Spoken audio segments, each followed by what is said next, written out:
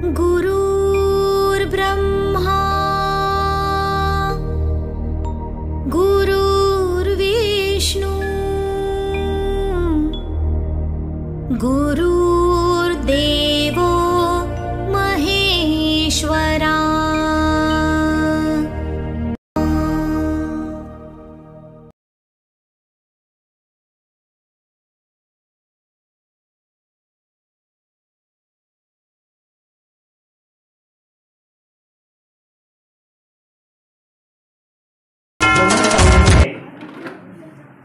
आपल्या क्लासेसचा माजी विद्यार्थी या ठिकाणी कार्यक्रमाचा गेस्ट चीफ गेस्ट म्हणून असतील.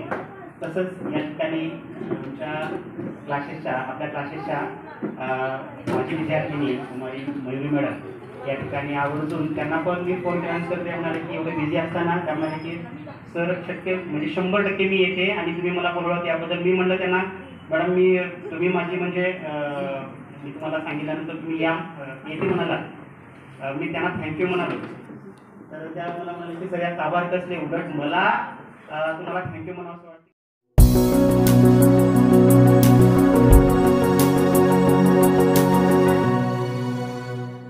आदरणीय शिक्षक आणि निरोप समारंभाच्या कार्यक्रमासाठी जमलेल्या माझ्या सर्व विद्यार्थी मित्रांनो आजच्या या प्रसंगी माझे मनोगत तुमच्यासमोर क्लास हे मित्र हे शिक्षक यांचा निरोप घ्यावा लागतो. याचे दुःख देखील आहे.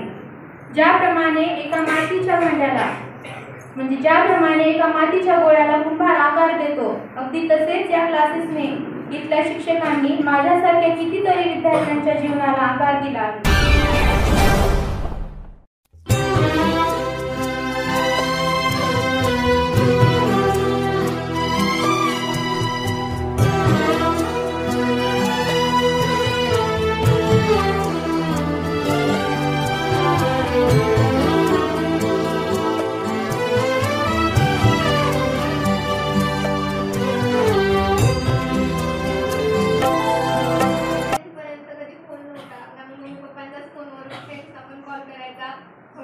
पैसे पडायचे कॉलचे पण.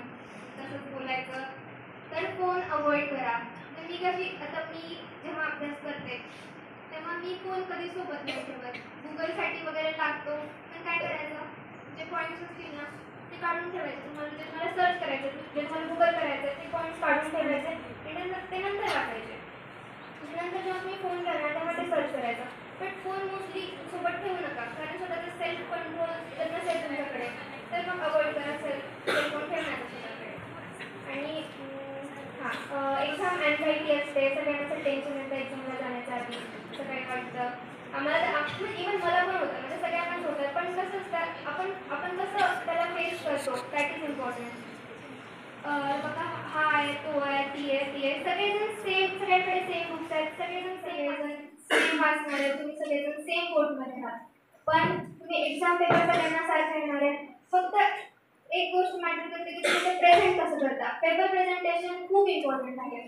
आपल्याला कसं अपिअरन्स खूप मॅटर करते. एखादी गोष्ट छान दिसली की सगळे अट्रॅक्ट होते की नाही त्याच्याकडे.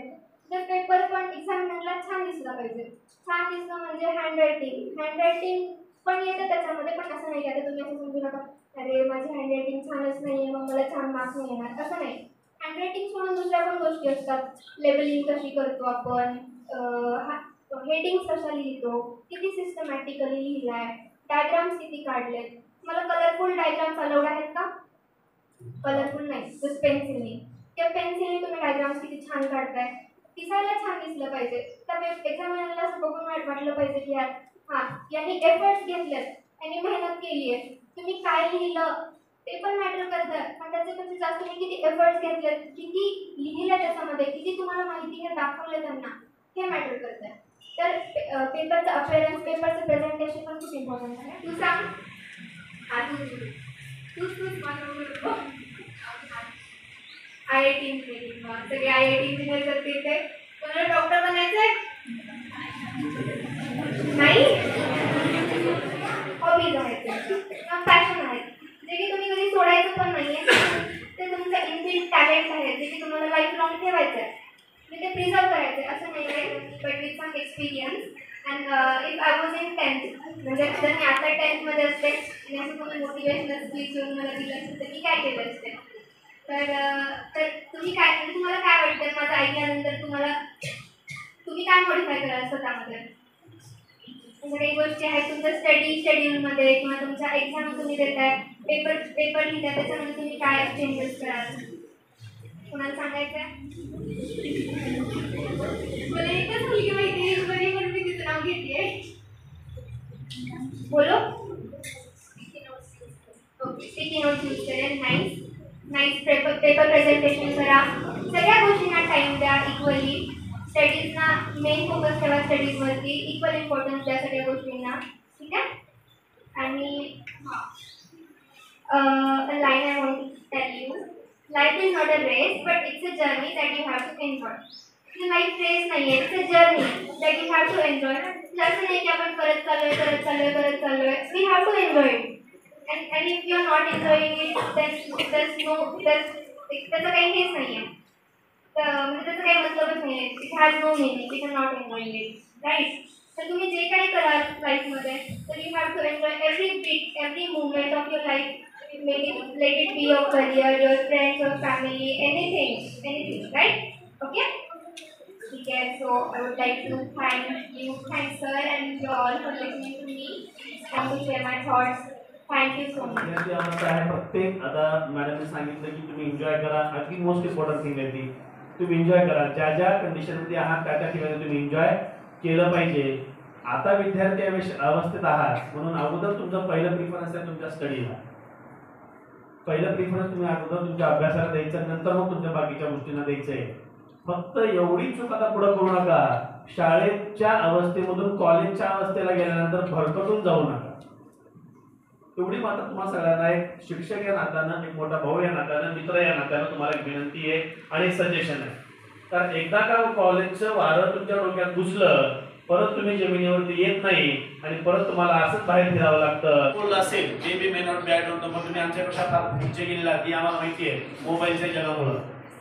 तरी जास्त काही सांगत नाही एवढं सांगतो. आणि माझी पहिल्यांदा आपण घरचा घेऊन शाळेत जातो. शाळेला जायला सुरुवात करतो. घरी बाय बाय करून आपण निघतो. तो पहिला निरोप.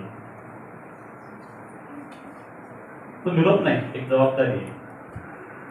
आता तुम्ही पहिली पायरी ओलांडून दुसऱ्या पायरीवर तुम्ही पाय ठेवताय. दहावीपर्यंतची ही पहिली पायरी शालेय जीवन असतं. आता तुम्ही शालेय जीवन पूर्ण करून मी सगळ्यासाठी बोलत नाही जे दहावीचा म्हणजे निरोप समारंभ- दहावीचा निरोप समारंभाचा कार्यक्रम त्यांना उद्देशून बोलतो नंतर शिक्षण पूर्ण झालं. शिक्षण पूर्ण झाल्यानंतर मुलींच्या बाबतीमध्ये पुन्हा विरोध घ्यायची वेळ येते. अगदी लहानपणापासून आपण ज्या घरात वावरलेलो असतो अगदी ते घर सुद्धा नंतर आपल्याला फरक होऊन जातं. आपण तिथला निरोप मला तुमच्या वेळात पाणी नाही आणायचं. चांगला कार्यक्रम आहे. पण मी निरो- कशा प्रकारचे असतात? त्याच्याबद्दल फक्त बोलतो. आणि आयुष्यात जबाबदाऱ्या पूर्ण करत करत शेवटी एक दिवशी त्या जगाचा निरोप घ्यायचा असतो. पण आयुष्य आहे. आयुष्य जगत असताना आपल्याला ह्या गोष्टीला सामोरं जावं लागणार आहे. या निरोप समारंभाच्या कार्यक्रमासाठी या ठिकाणी प्रमुख पाहुणे म्हणून लाभलेले आपले सर्वांचे लाडके अविनाश चव्हाण सर. या क्लासेसच्या माजी विद्यार्थिनी आणि सध्या शिक्षण चालू आहे ना? डॉक्टरचे शिक्षण चालू असलेले आहे. ओके. तर मयुरी कुत्रे मॅडम. आणि आयुष्याचं गणित कसं सोडवायचं आहे हे ज्याने तुम्हाला आतापर्यंत गणिताच्या माध्यमातून शिकवलेलं आहे. म्हणजे गणित पण शिकवत शिकवत आयुष्य कसं जगायचं आहे हे शिकवणारे तुमचे लाडके गंगापुरे सर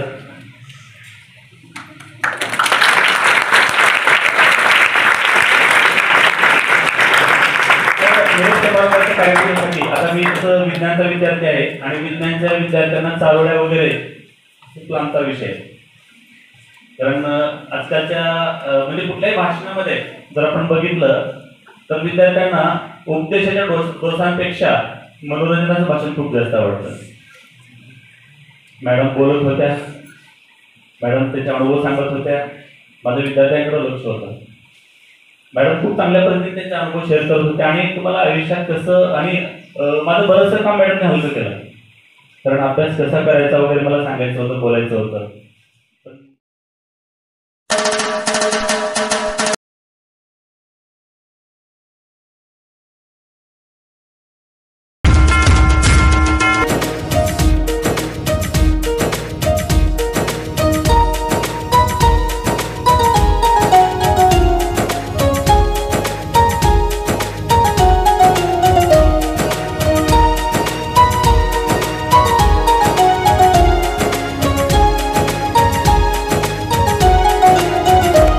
आदिवंदू या भगवंता आदिवंदू या भगवंता मायभूमी भारत माता। सर्व धर्म शांती समता गुरुजन माता पिता राष्ट्राचा पालन करता निसर्ग अन्नदाता वैज्ञानिक रक्षण करता माता अन भगिनी भ्राता। स्मरु पुराण बायबल गीता स्मरु पुराण बायबल गीता। आता गिरू एकच कित्ता आता गिरू एकच कित्ता।